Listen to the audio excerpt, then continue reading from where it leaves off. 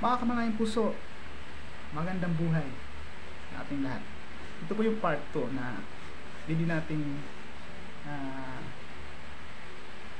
idugso o i-connect doon sa ginawa nating uh, proper management uh, proper manage management ng mga uh, sana magkaroon din ng mga pulisiya mga alituntunin ang bawat barangay, munisipyo hanggang po tumaas po sa sa national may pulisiya po na hulihin yung mga nagtatapo ng basura kung saan saan. Paano ano kung literal na hulihin yung mga nagtatapo ng basura? Hindi yung makikita natin nakita natin na may dala-dala isang sakong ano, binuhos lang sa ano. Hindi ganun. For example, eh, kumain ka ng ano, kumain ka ng toron. Kaya ka-plastic yun, mga malaking puso. Kain habang naglalakad. Kain ka. Pag maubos mo na yung toron, ang ginagawa doon sa plastic, iniiwanan na lang basta. Iniiwan na lang. Oh. Hulihin natin yung ganun. Pamultahin natin yun. Oh. 'Di ba?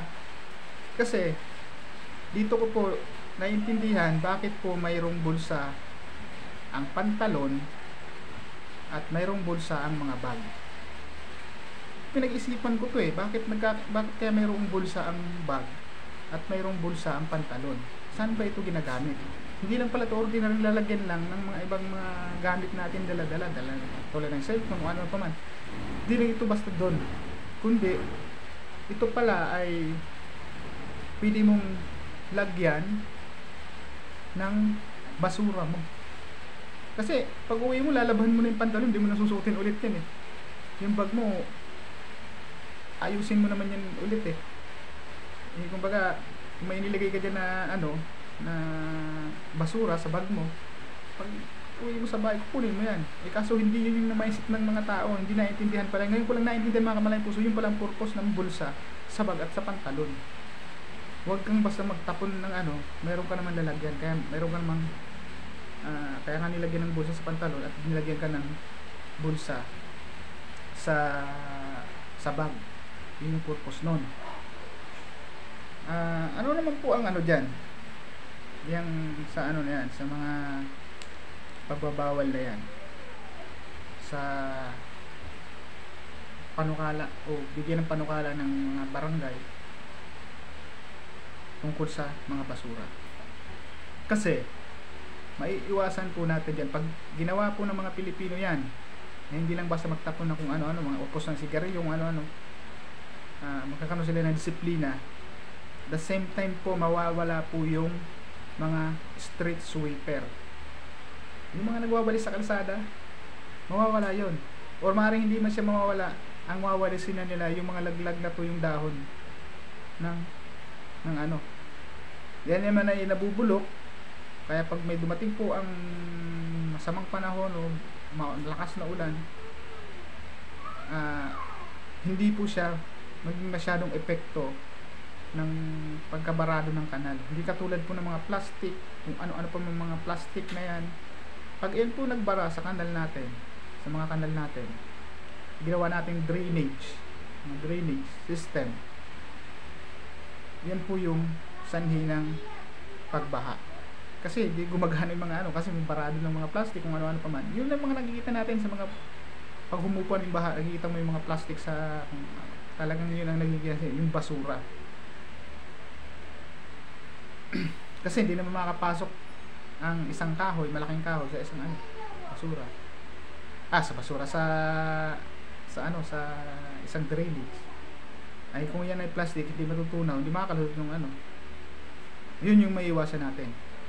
Maaring yung street sweeper ay ang mawalis na rin na ay mga dahon, mga laglag na tuyong sanga, tuyong dahon ang makuha nila. Hindi yung mga plastic bottle, yung pinag-inuman ng tubig, yung mga plastic na mga kinainan, yung mga pinagbalutan ng ano kung saan saan. Yun po yung nakikita natin eh. Yun po yung nakikita ko araw-araw po akong sa pag nagpumapasok ako ng trabaho. Yun yung nakikita ko. Mga kamalayang puso. Yung mga nakasakay sa jeep, kumakain ng candy, kumain ng ano, tapos, di ba, walang basurahan yung jeep. Di ba, ilalaglag lang sa bintana. Yun po, sa mga, yun po yung mga napapansin ko. Pero kung mayroong multa, ang bawat mahuli niyan, magbantayan niyan, eh, madadala po siguro yung mga mga mga tao. Yung mga mamamayan. Ano naman ang pwedeng gawin ng bawat barangay? O dilagyan po ng mga basurahan ang mga street. O kalsada man yan may segregate po na ano, segregate po na mga basura. Doon mo ilalagay. Halimbawa yung mga ano mga babaan at sakayan. Doon maglagay po tayo ng basura. Nabubulok hindi nabubulok. Mga uh, sulit mat na ano items yan o sulit materials yan o doon ilalagay. Ngayon yun yung mabilis na pagkulikta ng mga mga kolektor ng basura mga garbage collector mas mabilis po makuha yan.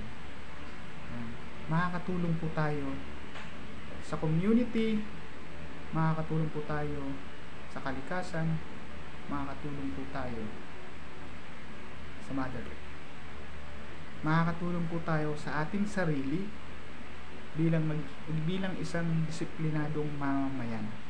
Diyan man lang makatulong tayo. Wag na natin sisihin ang mga politiko na sila ay magtrabaho. Tayo mismo magtrabaho din. Tayo mga mamamayan magtrabaho din tayo mga kamalayang puso. Kaya ang ilok-pulok natin yung may malasakit sa bayan. Wag yung mga putang inang kurap. Yung talaga magtatrabaho. Yung may malasakit. Yun ang ano natin. Wag tayong panatiko kung sino lang yung gusto natin na talagang diehard na tayong supporter. Doon lang tayo doon lang tayo glalaan ng oras doon lang tayo eh, pag nakaupo ng mga walang hiya wala nang ginagawa eh. Oh.